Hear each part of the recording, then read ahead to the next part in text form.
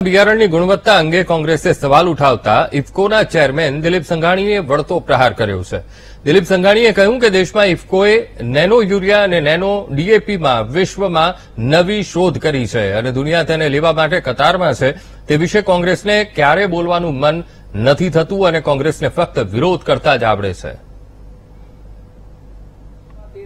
આપણી ખેતીને સદ્ધર બનાવી કે સઘન બનાવી એનો ઉત્પાદનનો મૂળ આધાર એ બિયારણ છે.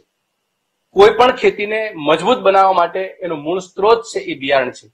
ઉત્તમ ગુણવત્તા સભર બિયારણ અને સરળ રીતે બિયારણ અને ખેડૂતોને યોગ્ય ભાવમાં બિયારણ જો ન મળે તો ગુજરાતની ખેતી ક્યારેય સદ્ધર કે સઘન ન બની શકે, આપણી ખેતી અર્થવ્યવસ્થા પણ મજબૂત ન બની શકે.